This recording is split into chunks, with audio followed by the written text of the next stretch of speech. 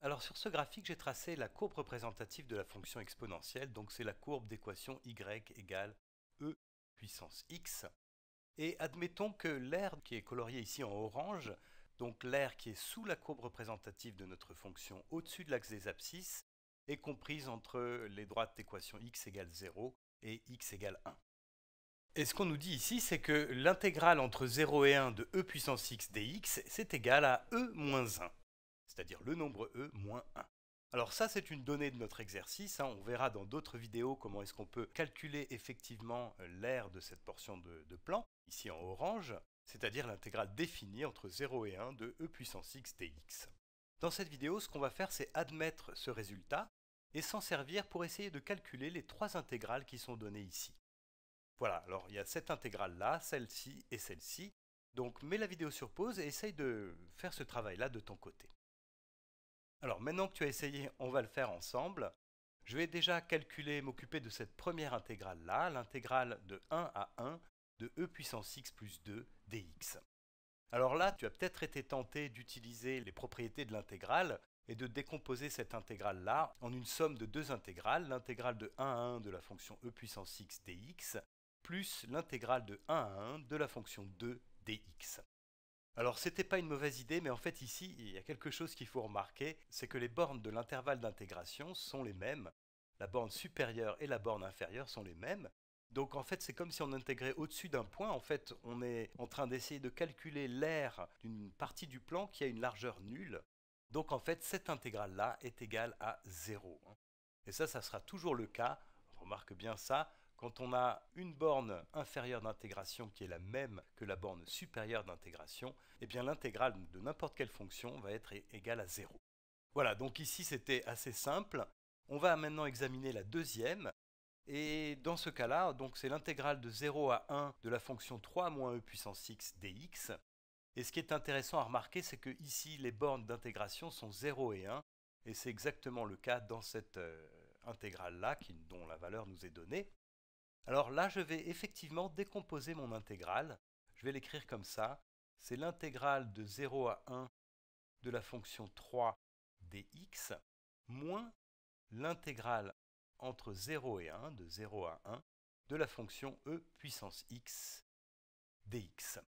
Alors ici, ce qui est intéressant, c'est que cette euh, expression-là, on sait ce que c'est, l'intégrale de 0 à 1 de e puissance x dx. Ça, c'est e moins 1. Donc ça, on sait ce que c'est. Et puis, il faut qu'on arrive maintenant à déterminer cette intégrale-là, ce terme-là. Alors pour ça, je vais faire un petit dessin, un petit croquis rapidement. Donc je trace deux axes. Voilà. Et puis donc ici c'est l'axe des x, l'origine et l'axe des ordonnées, l'axe des y. Donc là j'ai une fonction qui est la fonction 3. Hein. Je vais intégrer cette fonction qui est une fonction constante. Alors je vais prendre des échelles sur les axes, 1, 2, donc ça c'est 1, et puis ici 1, 2, 3. Donc je ne respecte pas vraiment les échelles, mais ce n'est pas très grave. Et donc je peux tracer la représentation graphique de cette fonction constante. C'est une droite d'équation y égale 3, donc c'est cette droite-là. Voilà. Et maintenant ce que je fais, c'est déterminer l'intégrale entre 0 et 1 de cette fonction-là, donc en fait, ça correspond à calculer l'aire qui est située sous cette courbe-là, entre la courbe d'équation y égale 3, hein, c'est celle-ci, y égale 3, et puis l'axe des abscisses entre les deux bornes qui sont 0 et 1. Donc 0 c'est ici, 1 c'est là. Et donc cette intégrale-là, elle revient à calculer l'aire de cette partie du plan, qui est comprise sous la courbe d'équation y égale 3, au-dessus de l'axe des abscisses et entre les deux bornes qui sont x égale 0 et x égale 1. Alors c'est un rectangle, donc on peut très facilement calculer son aire. Et son aire, c'est la largeur qui est 1 multipliée par la hauteur qui est 3, donc c'est 3. Ce qui veut dire que finalement cette intégrale, elle est égale à 3. Et donc finalement, notre intégrale de 0 à 1 de 3 moins e puissance x dx, eh bien c'est 3 moins e moins 1. Alors 3 moins e moins 1, je vais le développer et ça me donne je vais l'écrire en jaune maintenant, ça donne 3 moins e plus 1. Et donc, ça fait 3 plus 1, ça fait 4. Donc, j'ai 4 moins e. Voilà, donc cette intégrale-là, l'intégrale entre 0 et 1 de 3 moins e puissance x dx, c'est 4 moins e. Alors, on va passer maintenant à la dernière, celle-ci, l'intégrale de 2 à 3 de e puissance x moins 2 dx.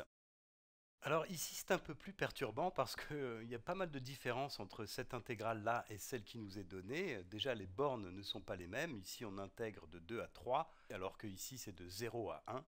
Et puis euh, la fonction n'est pas la même, ici c'est e puissance x moins 2 alors qu'ici c'est e puissance x tout simplement.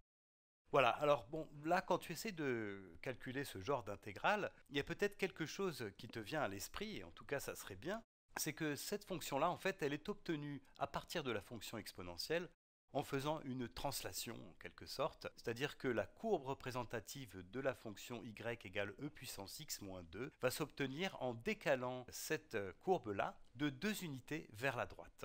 Donc autrement dit, la courbe représentative de cette fonction-là peut être tracée en décalant cette courbe-là, en translatant cette courbe-là de deux unités horizontalement vers la droite. Donc si tu veux, on peut essayer de la tracer. Alors ce point-ci va être décalé de deux unités horizontalement vers la droite, donc il va arriver ici. Voilà, la courbe va donc passer par ce point-là. Ce point-là va arriver ici à peu près. Voilà, je vais prendre quelques autres points pour euh, essayer de faire les choses à peu près correctement. Ce point ici va être décalé de deux unités vers la droite, donc il va arriver à peu près ici. Et puis je vais prendre un dernier point, celui-là, qui va être décalé de deux unités vers la droite, donc qui va arriver à peu près ici. Voilà, donc notre courbe va avoir à peu près cette allure-là, quelque chose comme ça. Voilà, donc c'est une version, alors ici ça se prolonge, on ne sait pas trop comment, mais voilà, ça se prolonge comme ça. Donc ça c'est la courbe représentative de la fonction y égale e puissance x moins 2. Et puis l'intervalle d'intégration c'est l'intervalle 2, 3, donc on va calculer l'air sous cette courbe compris entre cette valeur-là, x égale 2, et puis la valeur x égale 3. Alors là je vais prolonger un petit peu mon dessin, voilà, x ici, donc là c'est la valeur 3. Et donc, alors je vais essayer de faire ça à peu près bien. Euh, ce point-là va être décalé de deux unités. Donc il va arriver à peu près ici. Et donc la courbe passe comme cela. Et puis ce point-là va être décalé de deux unités. Donc il va arriver à peu près ici. Voilà.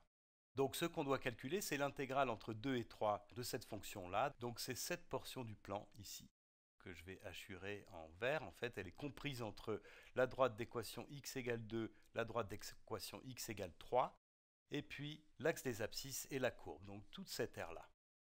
Alors ce qui est intéressant ici, c'est que tu vois, on a décalé de deux unités la courbe représentative de la fonction y égale e puissance x, de deux unités horizontalement vers la droite, mais on a aussi décalé l'intervalle d'intégration. On est passé de l'intervalle 0,1 à l'intervalle 2,3, donc on a décalé l'intervalle d'intégration de deux unités vers la droite aussi, horizontalement. Ce qui veut dire que finalement, on a décalé complètement ce dessin-là de deux unités horizontalement vers la droite et on a obtenu ce dessin-là. Donc en fait, l'air qui est ici, l'air que j'ai assuré en vert, elle est exactement égale à cette aire-là qui était coloriée en orange ici.